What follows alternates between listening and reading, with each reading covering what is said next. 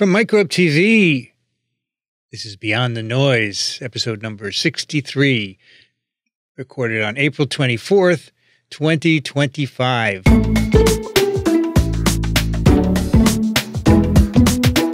I'm Vincent Racaniello, and joining me today is your host, Dr. Paul Offit. Hi, Vincent.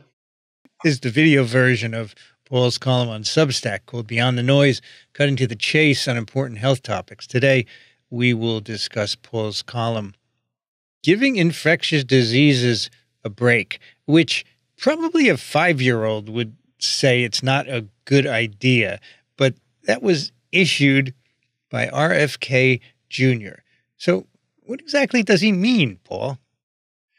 He is of the belief that that we have merely traded infectious diseases for chronic diseases, and that that and, and in addition, that vaccines were in many ways a, a part of that trade. In other words, that, that the, the vaccines also themselves could cause chronic diseases. So, so he's, he's done with that. Let's just ignore infectious diseases. Let's give them a break and let's just focus on chronic diseases like diabetes or obesity. Although interestingly, NIH just recently cut a lot of money for diabetes. So that doesn't seem to be happening either. But he believes that um, that we're going to give infectious disease a break in large part because he doesn't believe in the germ theory. As he says in his book, The Real Anthony Fauci, he believes in the miasma theory, not the germ theory. So if you don't believe in the germ theory, then you can give infectious disease a break. Although I think, as we'll learn today, they're not going to be giving us a break. The vast majority of people in the world, scientists or not, believe infectious agents cause disease. And the one person, maybe there's some others out there, is heading the HHS. How crazy is that? Yeah, you would think about it sort of be a minimal criteria for heading Health and Human Services, which is to believe that specific germs cause specific diseases and that the treatment or prevention of those germs can be life saving, but apparently he doesn't. And, you know, Congress, who, the Senate who voted to confirm him, you know, they said, oh, we like this idea of dealing with chronic diseases. It's not like we haven't worked on them for years. People have been studying diabetes and every heart disease and all of that for years.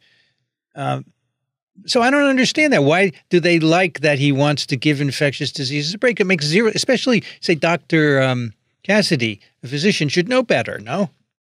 In a better world, yes, I completely agree. I don't think we're living in that world. Oh boy. okay. Um, now, it seems to me that, well, first of all, many viruses cause chronic diseases, right? Hepatitis B virus causes cirrhosis and liver cancer. Human papillomavirus causes uh, cervical cancer as well as head, neck, anal, and genital cancers, all of which are chronic. Sure, we, we can prevent chronic diseases with vaccines. And HIV AIDS, of course, is a chronic disease. So it seems uh, it seems uneducated to say we're going to shift our attention because you really can't if you if you're really and truly interested in chronic diseases. I think you are right. It's more a reflection of his not believing that viruses cause disease. As, as he said, he doesn't think HIV is the cause of AIDS. And he pretty much is ignoring the current measles epidemic. And he's trying to say it's something else in some ways. I mean, I mean, there's, to, to, say that HIV doesn't cause AIDS, oh my God, we're back to the Peter Duesberg era again in the AIDS denialists. It's right. quite clear. And so he's a fringe person in terms of understanding infectious diseases, which is more the reason that flabbergasted, I'm flabbergasted that he's head of HHS. But anyway, so he wants to give infectious diseases a break. That means cut back on research, right? And surveillance and identification. And and so I think we are all about to suffer this. We're just going to turn a blind eye. We're just going to turn our back and let it all happen. And with uh, this kind of see no evil approach. So let's say that sometime in the future, a H5N1 pandemic emerges. We're not going to do any surveillance. We're not going to have a vaccine. Nothing. Right. I mean, so this is what you worry about with, with bird flu, which is that it, the that H5 protein will adapt to be able to bind to the alpha 2 6 sialic acid receptor in the upper respiratory tract, so then it can reproduce in the upper respiratory tract, so it can be spread person to person, and in people, and therefore become a human pandemic. What, what's and it may never happen, But what I worry about is that we're not going to know when it happens because it certainly could happen. And what he did uh, recently was he fired the sort of top veterinarians at the FDA's sort of veterinary uh, medical center. So that in, in combination with lack of surveillance makes me worried that we're not going to know. Also, when we do things like uh, leave the Global Alliance Vaccine Initiative, leave USAID, you know, leave PEPFAR, uh, distance ourselves from the World Health Organization. We are not a favored nation in terms of um, letting us see what's going on in the world. And because bird flu could arise anywhere. Right now, it's in basically two dozen countries. Um, over the last 20 years, it's caused about a thousand cases, over 460 deaths in two dozen countries. So in any of those countries, this could mutate to become a human pandemic, but we've distanced ourselves from other countries. So, as you write in the column, he's instituted massive layoffs at NIH, FDA, CDC. Is he going to replace all of them with people who study chronic diseases? Where's he going to get them? I don't know. It's it's it's a mess. I don't know if he knows. I, and also, I, I, wish he just wouldn't use the term chronic diseases. What specific chronic disease is he talking about, and what is his plan? What's his what's his plan moving forward? It's just kind of this bald flag waving of what he's going to do. It all sounds good. You know, the we spend a lot on healthcare. Do we really get our bang for our buck? There's certainly a lot of people are dissatisfied reasonably with the healthcare system. All true. What's his plan to make things better? Because I'm telling you this, taking like red food dye number 40 out of red M&Ms is not going to make us healthier. Paul, I hate to tell you, but he doesn't really have a plan. He does not have a plan. He has no idea what he's going to do because he's not a scientist and he doesn't know uh, how to plan science. And just this idea that he's going to solve autism by September is an example of that just incompetence, right? Doesn't right. work that way. So let's let's go through some of these infectious diseases as you have in the column and and ask the question, will they give us a break? So let's start with measles. Is measles going to give us a break. So if you look on the CDC's website this morning on mm. April 24th, um, it'll say that there are 800 confirmed cases of measles, but confirmed generally means confirmed by testing, serology or PCR most people, especially in these sequestered communities, don't necessarily go to the doctor. And you've had now a number of public health officials who've come forward and said, this is much worse than that. It's probably at least 3,000 cases and maybe 5,000 cases. It's already involved 25 states. Nine states have had outbreaks, meaning three or more cases. And there's been three deaths of measles, which equals the total number of deaths from measles over the last 25 years combined. We've had our first death in a child since 2003. And this virus is raging, and it is the most contagious of the vaccine preventable diseases. That, in combination with the fact that immunization rates are declining, um, parents are more parents are choosing not to vaccinate their children, and I think most importantly, people don't remember measles. I think it's not just that we've eliminated measles, which we did by the year 2000. We've eliminated the memory of measles. People don't remember how sick this virus can make you. You know, we recently had a child in our hospital with measles, and most of the doctors in our hospital had never seen a case of measles before. And as you point out, he's he's ignored the seriousness of, of the disease and has failed to promote vaccination. Yes, which is what he should do. He's held press conferences about autism. He's held press conferences about food dyes. What he should do is hold a press conference every other day about this measles epidemic and what we're doing about it and encourage vaccination, especially in areas where there's low vaccination rates. The opposite is happening. He doesn't say that. He gets in front of the public and says measles vaccine uh, kills people every year. Measles vaccine causes blindness and deafness. Measles vaccine causes the same symptoms of, of measles. There are adverse events from the vaccine. It does cause deaths every year. It causes it causes all the illnesses that measles itself causes encephalitis and blindness, etc. So he misinforms the public. And although he will occasionally say the measles vaccine is the best way to prevent measles, first of all, it's the only way to prevent measles. And when he says it, honestly, he looks like he's under duress because it's not easy for him to say that because he still thinks the measles, mumps, rubella vaccine causes autism. He also point out that because of his funding cuts, they haven't been able to do measles vaccination clinics in Dallas, for example. That's right. There were like, I think, more than a dozen, almost two dozen clinics that were set to open up in areas in schools where immunization rates were low, and they don't have the money. So we, we don't have the money to, to give the vaccines. We don't have the, the money to really do the kind of surveillance to let us know who's at risk. And and I just think this virus will rage. I mean, hopefully, measles tech, technically usually sort of settles out by by mid-May. That's what happened during the Philadelphia measles epidemic in 1991. By mid-May, things settled down. I hope that's true now, but maybe not. Maybe it'll continue to rage throughout the year. We'll see. Paul, if it stops, he's going to claim that vitamin A stopped it. Right.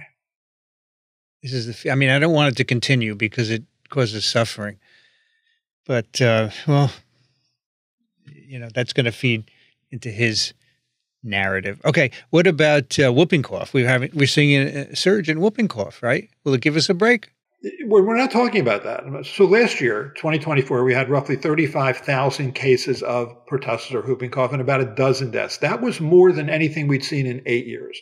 This year, we've already early have had more than 6,600 cases and, and deaths in a handful of states that had not seen pertussis deaths in years, including Louisiana had two deaths. And um, I just don't uh, uh, think that people understand how serious this disease can be. This this this virus, this bacteria kills babies, especially young babies, because they have a, a narrow windpipe. And um, this is again a preventable, a preventable illness, and it's surging.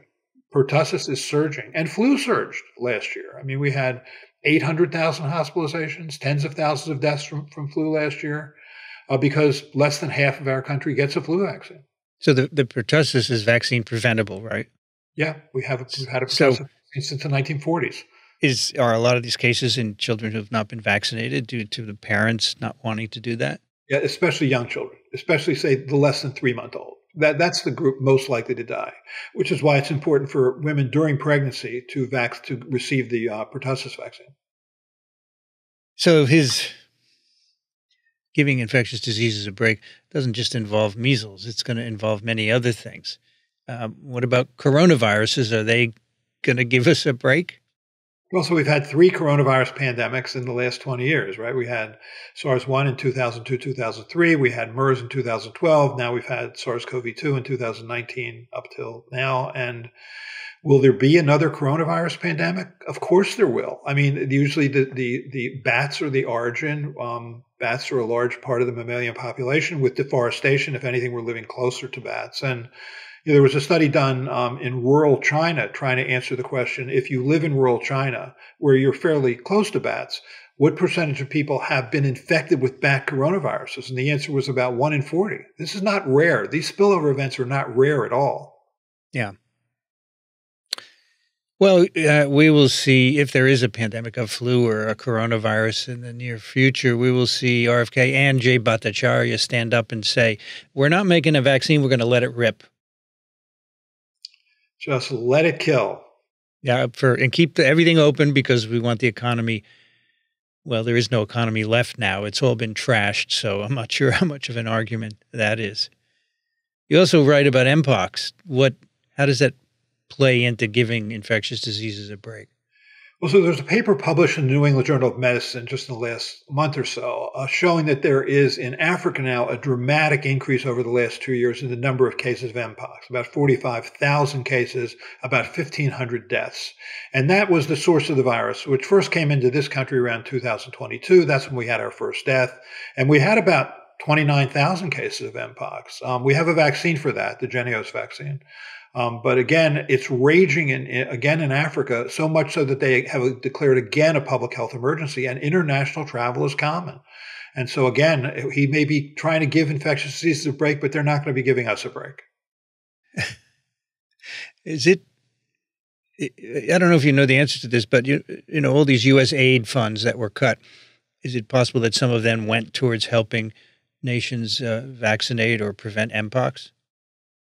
Sure. I mean, so so you have a vaccine to prevent that, and I just what I worry is that we're making ourselves a pariah among other nations, and so where they may normally be more willing to let us in to see what's going on, especially for things like bird flu or mpox, that that they'll be less interested in doing that. I mean, I think that with this with SARS-CoV-2 and COVID-19 uh, China was culpable here. They didn't let uh, other scientists from other countries come in very early to, to look at what was going on. And I think that in many ways contributed to a lot of the conspiracies that are surrounding COVID now. So, uh, the, one virus not on your list, uh, there, there, are many viruses you could put on, uh, is polio virus. And I think that um, if polio vaccination rates drop, we will see outbreaks of polio again because the virus is circulating in wastewater in the U.S. So that means people are infected. They don't. We don't see poliomyelitis because everyone's vaccinated or many people are vaccinated. But uh, if he has an impact on polio vaccine, he already said that polio has killed more people than it's it's prevented polio, right? he, he has said, he, RFK Jr., has said that the polio vaccine killed, and his is quote, many, many, many more people than it saved. Kill many, many, many, many, many more people than polio ever did. So that's wrong.